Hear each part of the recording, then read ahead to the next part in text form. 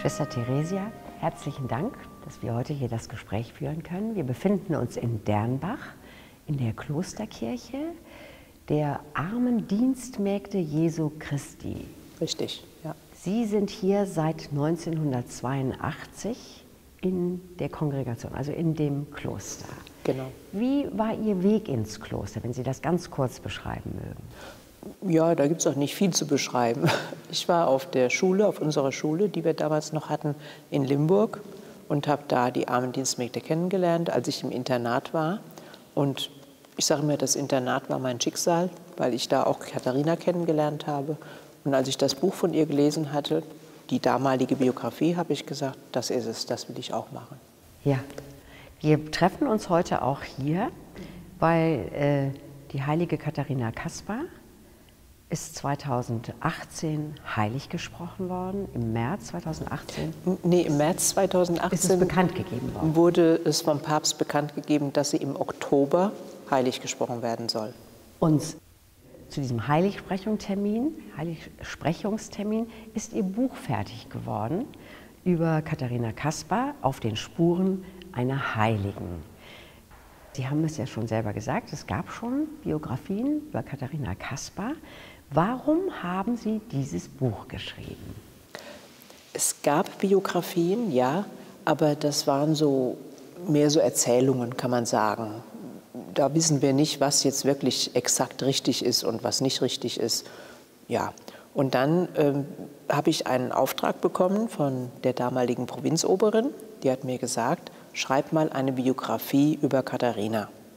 Da habe ich gesagt, das kann ich nicht, weil ähm, unsere Schwester Gottfriedis, die auch die Briefe von Katharina ediert hat, wissenschaftlich ediert hat, die hat so viel über Katharina geschrieben, was eigentlich biografisch ist. Wenn man das in eine Reihenfolge bringen würde, wäre das eine Biografie.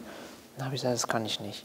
Und dann hatte ich aber vor Jahren schon mal eine Geschichte angefangen, nämlich diese Geschichte von der Frau Fuchs, genau, Carla Fuchs.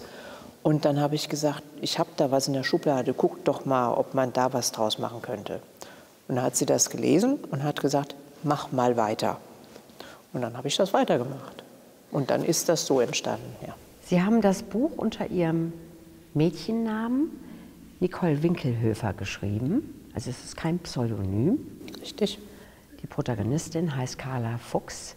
Und Carla Fuchs eine junge Frau sozusagen aus der Neuzeit begleiten wir äh, sozusagen auf ihrem Weg der Erkundung und auf den Spuren von der heiligen Katharina Kaspar. Wie sind Sie auf die Idee gekommen, äh, eine solche Geschichte zu schreiben? Also diese, wie hat sich Carla Fuchs entwickelt? Wie sie sich entwickelt hat, das ist schon gut, die Frage, ja. Ähm, ich hatte die Idee, wie ist das, wenn jetzt plötzlich eine junge Frau, Journalistin, sich auf den Weg macht, um Katharina zu, zu, kennenzulernen, so rum. Und ich hatte ja selber die Erfahrung gemacht, wenn man Katharina begegnet, dann verändert das das eigene Leben. Und das war dann eigentlich so diese Idee. Ne? Und für heute ist es ja so, dass die Menschen nicht mehr unbedingt religiös orientiert sind und so. Und dann habe ich dann überlegt, ja, okay, da müsste dann jemand sein, der halt auch nichts viel so mit Religion am Hut hat und so. Und ähm, ist ja bei ihr auch so. Die lacht sich ja ein bisschen halb tot, so, als sie hört, dass sie katholisch sozialisiert sein soll und sich auf den Weg ins Kloster machen soll. Und ähm, ja, was passiert dann, wenn sie tatsächlich sich darauf einlässt und dieser Katharina Kasper begegnet? Und das war der Ausgangspunkt. Und dann habe ich das ja auch schon so versucht, dass sie wirklich mit zunehmender Zeit, je mehr sie sich kennenlernt, dann auch sich tatsächlich ein Stück weit verändert. Auch ihr Denken verändert und so weiter. Bis dahin eben, als sie dann für sich den Willen Gottes erkennt, für ihr Leben und ja, das eine Entscheidung total verändert. Ja. Nun sind Sie ja ein sehr gläubiger Mensch. Ähm, ich hoffe. Ich fand es sehr interessant, äh, mich mit dieser Figur Carla Fuchs, die von ihrem Chef den Auftrag bekommt, sich auf die Spuren von Katharina Kaspar, der heiligen Katharina, zu machen.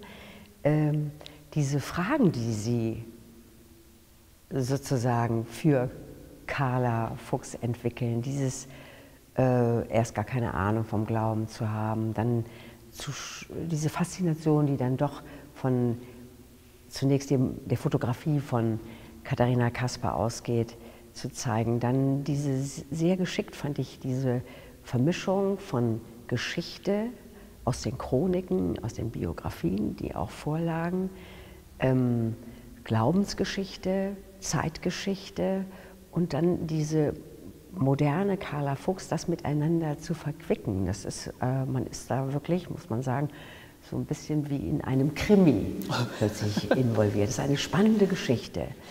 Ähm, das war ja ein, würde ich sagen, Wust von historischen Daten auch. Ähm, sehr komplex alles.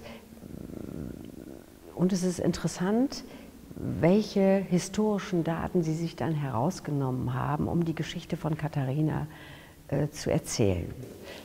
Wenn ich mal unterbrechen darf, ich habe eigentlich die Chronik vor mir liegen gehabt und bin anhand der Chronik vorgegangen, so dass ich ähm, auch diese, dieses ähm, Kompakte, wo die einzelnen Filialen entstanden sind, wo ja die Kala dann auch sagt, man wird ganz schwindelig, wenn man das liest. So ging es mir eigentlich auch, muss ich sagen, ähm, weil das so zack, zack, zack aufeinander ging. Ne?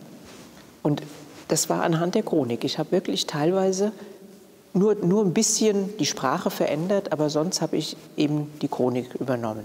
Ja, es gibt aber auch zwei Bücher, auf die Sie hinweisen, wo im Grunde genommen kann man auch sagen, Legenden äh, ja, vermittelt werden und die Sie dann auflösen im Gespräch zwischen Carla und den Schwestern, die Carla im Kloster trifft, mit denen sie spricht. Aber es ist also wirklich äh, spannend gemacht und ich dachte auch, das ist etwas auch für junge Menschen oder Menschen jeden Alters, die Glaubenszweifel oder auch Fragen haben und dann anhand äh, ihrer Geschichte über die Katharina Kaspar ähm, sehr gut Glaubensfragen und Glaubenszweifel äh, erklärt bekommen oder auch aufgelöst bekommen.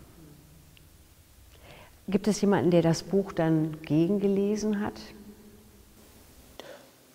Ja, meine Provinzoberin damals, die hat das gegengelesen, ja. ja. Und ähm, ja, und Schwester, besagte Schwester Gottfriedis hat das auch gegengelesen, weil das ja um diese ähm, historischen Dinge geht, wo ich mir nicht immer sicher war, ob das jetzt so richtig war oder nicht richtig war.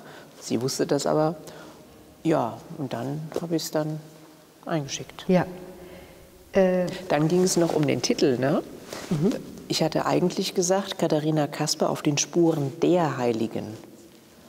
Und dann habe ich kalte Füße bekommen und habe gedacht, äh, wenn wir jetzt schreiben der Heiligen, greifen wir da nicht Rom vor oder irgendwie sowas. Man weiß ja nicht, wie dann reagiert wird unter Umständen. Und habe dann mit dem Verlag gesprochen und dann haben wir uns dann geeinigt auf einer Heiligen. Ja. Wir konnten ja nicht ahnen, dass wir eingeholt werden. Ja, also sozusagen einer heiligmäßigen Person. Ja, zunächst. genau, genau, so. einer Heiligen, ja. Ja, war das für Sie überraschend, 2018 dann von? Das, das, der Zeitpunkt war dann für uns überraschend. Wir waren ja auf dem Weg dahin. Wir wussten ja, dass da irgendwas kommen würde.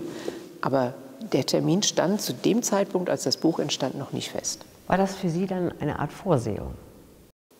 Ja, so kann man sagen, ja. Fügung, dass das genau in dem, zu dem Zeitpunkt dann geschehen ja. sollte. Sie hatten sich ja sicher selber mit dem Leben von Katharina Kaspar, äh, bevor Sie dann äh, in die Kongregation, also in den Orden, ähm, aufgenommen wurden, befasst. Hat sie die Geschichte der Carla mit Katharina Kaspar dann nochmal mit überraschenden Aspekten von Katharina Kaspar konfrontiert? Hat sich da etwas von in Ihrer Einstellung zu Katharina Kasper nochmal entwickelt oder verändert? Das könnte ich nicht sagen, nein. Ich, gut, damals hatte ich mich anhand dieser beiden Biografien, die ich auch da erwähne, ne, die der Chef gelesen hatte, die hatte ich damals gelesen. Was anderes gab es ja auch nicht, ne, was den Schwestern zu oder den Menschen zugänglich war. Und ähm, das war das Wissen, was ich damals hatte, als ich eingetreten bin. Und als dann die äh, Briefe ediert worden waren, die, die, wirklich authentischen Briefe von ihr, selbstgeschriebene Briefe, da haben wir auch teilweise ein ganz anderes Bild von Katharina bekommen. Und da habe ich mich sehr intensiv mit ihr beschäftigt. Und das sind auch viele Dinge, die da drin vorkommen. Was bedeutet das, ein anderes Bild von Katharina, wenn Sie das erklären sollten? Sie haben vorhin die Legenden angesprochen. Das waren so Dinge, die bei uns so ja, rumgegeistert sind und die, das wusste jeder, jeder kannte das. Ne? Und ähm, da wurden eben auch so Dinge deutlich, sie ist Mystikerin und sie ist wirklich, der Wille Gottes steht ihr über allem und das ist das Entscheidende in ihrem Leben. Und diese Dinge, ne, die man mhm. vorher so nicht wusste, nicht, nicht, nicht kannte auch. Ne?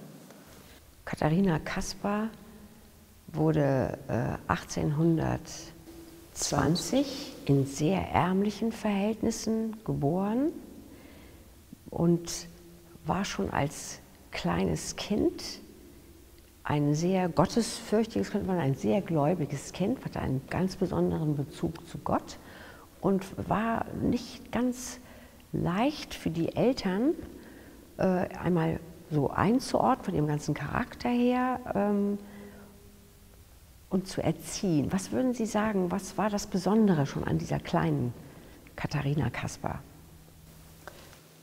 Sie war ganz offen für diese andere Welt, sag ich mal. Ja? Für, das, für das Göttliche, was in ihrem Leben da plötzlich eine Rolle spielte. Ähm, sie hat das mal so gesagt, dass sie gesagt hat, ich möchte verrückt sein ich habe das dann hinterher, ich habe mir gedacht, die Eltern müssen ja, müssen ja verrückt geworden sein bei so einer Aussage. Ne? Äh, ich möchte gerne verrückt sein. Aber dieses Verrücken von der Norm, ähm, so Abrücken von dem, was normal war für die Kinder, für, das, für Jugendlichen, für junge Frauen damals, da wollte sie abrücken von, wollte verrücken davon. Konnte sie als Kind noch nicht sagen, ist ganz klar. Aber das, was sie dann als Kind gesagt hat, das war nun mal anders. Ne? Sie wollte bedürfnislos sein. Arm, sagte sie. Und dann ist natürlich die Mutter ausgeflippt, dass sie gesagt hat, wir sind gerade arm genug. Ne? Oder sie wollte gehorsam sein. Also ähm, ihren eigenen Willen dem göttlichen Willen unterstellen. Das war damit eigentlich gemeint. Ne? Ähm, sie war offen dafür, für das, was sie, die ist ja auch regelmäßig mit in die Kirche gegangen, ähm, was sie da gehört hat. Und das prägte sie dann. Sie war sehr jung, als sie die Gemeinschaft gegründet hat. Äh, ähm, war, jein, was gegründet? Jein. Ja, die Gründung, da ja. war sie nicht mehr so ganz jung. Ne? Da war sie ja 30, Anfang 30. Ja, da haben sie natürlich. ja, also 51, da ist die Gemeinschaft gegründet worden. Ja, das war nach dem Tod des Vaters. Ja, einige Zeit später, und, ja. Äh, die Anfänge waren aber sehr schwierig. Also sie war sehr arm, ja. hatte wenig Geld. Es gab eine Person, aber die einen ganz besonderen äh, Stellenwert in ihrem Leben hatte. Das war der Bischof von Limburg. Mhm. Der, ähm, Wir würden heute sagen, das war ihr geistlicher Begleiter, könnte man heute sagen. Welche Rolle spielte er? Ja, genau so eine. Ne? Er unterstützte sie, er nahm sie ernst Damals, diese Zeit im Bistum Limburg war ja auch so, ähm, dass der Glauben am Boden lag. Und er hatte sich auf die Fahne geschrieben, dass er evangelisieren wollte, dass er den Glauben wieder lebendig machen wollte. Und da war jetzt diese junge Frau, die genau das Gleiche wollte. Das war ja das Ziel, ihr Ziel und das Ziel ihrer Gemeinschaft. Ausbreitung des Glaubens. Tugend hat sie damals gesagt. Ausbreitung des Glaubens durch Beispiel, Belehrung und Gebet. Da trafen die sich, die beiden. Ja? Und da hat die Chemie gestimmt, würde man da heute sagen. Ne? Mhm. Und er hat sie unterstützt bei all dem. Ja. Und das war natürlich für sie im weiteren Verlauf der Geschichte ihrer Gemeinschaft auch ein ganz großer Segen, denn sonst hätte sie wahrscheinlich das Schicksal wie viele andere Frauengründerinnen auch, äh, Gründerinnen auch äh, ereilt, dass ähm, plötzlich da irgendein Mann aufgetreten ist, der das Ganze zerschlagen wollte. Ne? Es gab zumindest einen Mann, der eine ähm, ja, wesentliche Rolle gespielt hat, auch. Das war der Priester Wittaya. Mhm. Ähm, das lief ja nicht ganz reibungslos. Er hat schon häufiger auch versucht, gegen äh, die Generaloberin und ihre Position im Orden äh, zu intrigieren, auch bei Bischof äh, Peter Josef mhm. von Limburg. Und der hat aber immer zu ihr gehalten. Genau, genau. Da muss man natürlich auch unterscheiden. Bei Vitaille am Anfang war er ja der Vertreter des Bischofs. Äh, sehr schnell, weil wir ja ganz weit verzweigt waren, schon in verschiedenen Bistümern. Ursprünglich war das war Limburg ja auch Trier, ne? Das war ja dann, also es war ja ein junges Bistum. Ähm, aber da waren wir ja sehr schnell verzweigt und da sagte der Bischof dann damals, ich kann nicht mehr das Oberhaupt der Gemeinschaft sein. Das funktioniert gar nicht, wenn das in verschiedenen Bistümern ist. Und hat dann von sich aus den Antrag in Rom gestellt, dass das Ganze approbiert wird. Und in dem Moment, wo das passiert ist, und das war ja relativ früh, also für so eine junge Gemeinschaft war das früh, hatte Vitalia nichts mehr zu sagen. Das war das Problem. Mhm.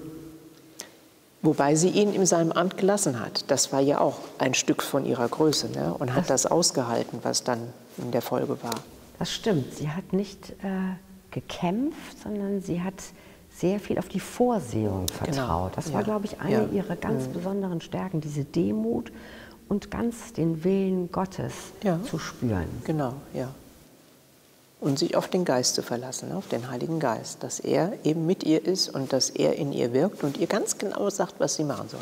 Ja, die Kongregation ist äh, sehr stark gewachsen, weltweit bis Amerika sind die Schwestern dann ähm, unterwegs gewesen, haben Ordensgemeinschaften gegründet, waren im Pflegedienst, aber auch im Schuldienst. Können Sie etwas zu diesen beiden Zweigen sagen? Gut, am Anfang stand halt die Pflege, ne, dass die Katharina eben äh, in die Häuser reingegangen ist, die Menschen gepflegt hat und sich um die Bedürftigkeiten der Menschen gekümmert hat und so. Aber sie hatte auch von Anfang an die Kinder im Blick. Sie hat, es war ja damals eine ganz arme Zeit hier im Westerwald und viele Familien, ähm, da war das dann so, dass der Vater ausgewandert ist und so weiter. Da waren die Mütter alleine mit denen oder den Kindern oder ähm, die Kinder waren Waisen oder so. Und da hat sie sich der Kinder angenommen, hat auch Kinderheime gebaut und so. Und ähm, logischerweise mussten die Kinder unterrichtet werden. Es ging ja nicht anders. Hier in Dernbach war es damals so, dass sich die Schule geweigert hat, die Waisenkinder, die bei Katharina untergekommen waren, aufzunehmen. Also mussten sie anders unterrichtet werden. Ne? Also das war von Anfang an im Grunde da nicht so wie Witteier es später wollte, dass er praktisch äh, einen Schulzweig und einen äh, Krankenpflegezweig haben wollte. Das wollte sie nicht. Da wollte sie schon, dass sie zusammenbleiben, die Schwestern. Da gab es dann auch Probleme. Ähm, ja, so war der Anfang eigentlich. Ne? Das Krankenpflege und Schule war eigentlich von an Bildung, Bildung muss ich sagen, nicht jetzt unbedingt Schule, war auch Kindergarten und so weiter, ähm, war einfach von Anfang an da. Eine sehr schwierige Zeit begann, sozusagen ein Kulturkampf, das beschreiben Sie auch sehr intensiv in dem Buch, mit dem Reichskanzler Otto von Bismarck, der in der katholischen Kirche ein Feindbild sah und das bekämpfen wollte. Können Sie diesen Kulturkampf und die großen Herausforderungen auch für die mhm. Kongregation kurz beschreiben? Also ähm, die Rechte, Pflichten der Katholiken wurden immer mehr eingegrenzt oder, oder beschränkt oder wie auch immer. Ähm, es ging bis dahin, dass keine neuen Mitglieder mehr aufgenommen werden durften. Ja? Und das ähm, war teilweise schon sehr ähm, grenzwertig, sage ich mal. Also das, das brachte Katharina und die Gemeinschaft schon an, an ganz große Grenzen und Schwierigkeiten. Ähm, dann ging es noch weiter, dass es durfte ja kein Einfluss der Katholiken irgendwie ausgeübt werden. Wo wird der meiste Einfluss ausgeübt? Das sind Schulen. Also wurden die Schulen geschlossen. Sie durften gar nicht mehr in Schulen bleiben. Katharina versuchte teilweise äh, das noch aufrechtzuerhalten, indem sie dann den Schwestern erlaubt hat, ohne Ordenskleid aufzutreten und zu unterrichten, funktionierte aber nur bedingt, weil man ja doch irgendwo wusste, das sind Schwestern und dann mussten sie halt raus. Ja. Das war eine ganz große Herausforderung. Und dann erfuhr sie von ähm, anderen Gemeinschaften, ähm, dass sie sich bei Bismarck und dem Staat die Erlaubnis eingeholt hatten, dass sie doch aufnehmen dürfen, damit sie da ein bisschen hm, Entspannung reinbringen konnten. Weil ja wirklich viele Filialen aufgelöst werden, werden mussten, ne? weil einfach die Leute nicht mehr da waren. Und ähm, dann hat, hat sie beim Bischof ähm, gefragt, ob sie das nicht auch machen könnte. Und der hat gesagt, nein. Schlichtweg gesagt, nein. Und sie hat es nicht verstanden, warum er Nein gesagt hat, aber sie hat sich dem gebeugt. Man muss sagen, der Bischof befand sich zu der Zeit im Exil in Böhmen. Genau, ja, genau. Und, aber er hat gesagt, nein, Sie dürfen das nicht machen. Ne? Versuchen Sie das so hinzukriegen, wie auch immer. Also ich glaube, dreimal hat sie es versucht und dreimal hat er gesagt, nein. Später hat sie es begriffen, warum. Denn in dem Moment, wo ich da darum gebeten hätte, hätte ich mich abhängig gemacht vom Staat und hätte dann eben das tun müssen, was die wollten und so. Der Bischof wusste das in seiner Weisheit, muss man sagen, und hat dann eben gesagt, nein. Und Katharina, die ja immer ganz großes Gewicht auf das gelegt hat, was der Bischof sagt, und für sie war das der Wille Gottes, was er gesagt hat, hat dann sich dem gebeugt, gut, obwohl sie es nicht verstanden hat. Da kommt eben auch das Wort von Katharina, man muss den Willen Gottes tun, auch wenn das Herz dabei bluten muss oder wenn man es nicht versteht, warum und weshalb.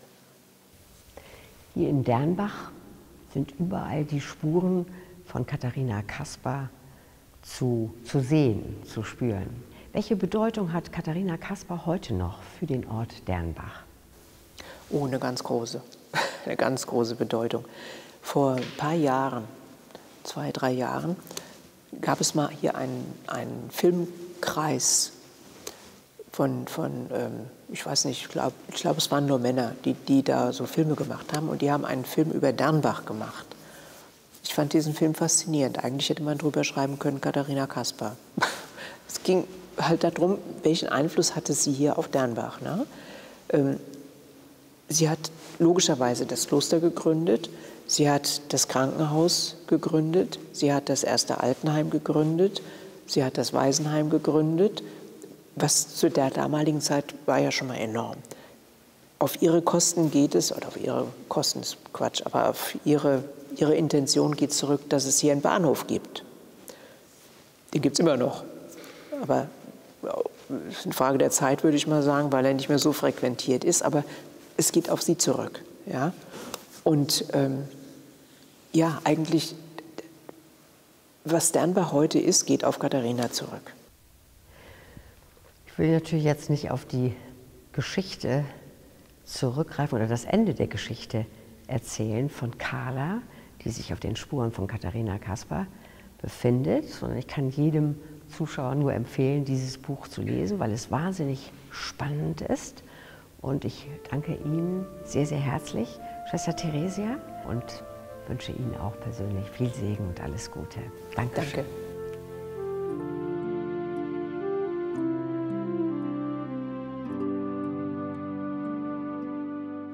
Im Vorfeld der Heiligsprechung kamen wir auf die Idee, das kleine Museum, was wir damals hatten, dass wir das erneuern wollten. Dann haben wir sehr schnell gemerkt, Katharina ist kein Museumsstück, sie ist noch sehr lebendig und deshalb wollten wir ein Begegnungszentrum machen. Warum Begegnungszentrum? In diesem Begegnungszentrum begegnen wir Katharina, wir begegnen Gott und wenn wir uns auf beides einlassen, begegnen wir auch uns selbst.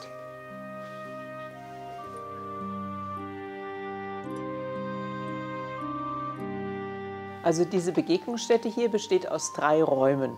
Dieser erste Raum hier hat musealen Charakter. Alle diese Gegenstände, die Sie hier sehen, sind aus der Zeit Katharinas. Das Kreuz, das ist ihr eigenes Kreuz gewesen. Und hier diese Schuhe zum Beispiel, die haben für einen, uns eine ganz große Bedeutung, weil sie noch Original Katharina sind. Das Besondere ist, wenn sie war ja viel zu Fuß unterwegs, wenn die Absätze abgelaufen waren, dann ist sie hingegangen und hat die Schuhe einfach umgetauscht, was heute nicht mehr möglich ist. Damals war es möglich. Warum?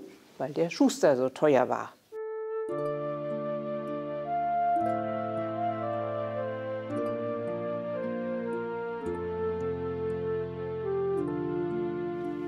Hier befinden wir uns im zweiten Raum der Begegnungsstätte, in dem sogenannten Raum der Stille.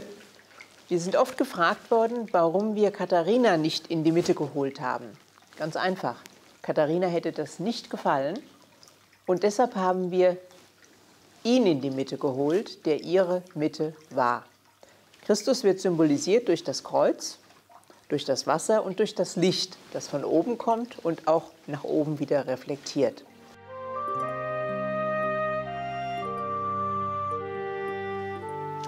In diesem dritten Raum unserer Begegnungsstätte haben wir diese Litfaßsäule angebracht, die die beiden wichtigsten Ereignisse unserer Gemeinschaft einfangen. Zum einen 1978 die Seligsprechung unter Papst Paul VI. und dann im weiteren Verlauf die Heiligsprechung 50 Jahre später, 2018, unter Papst Franziskus.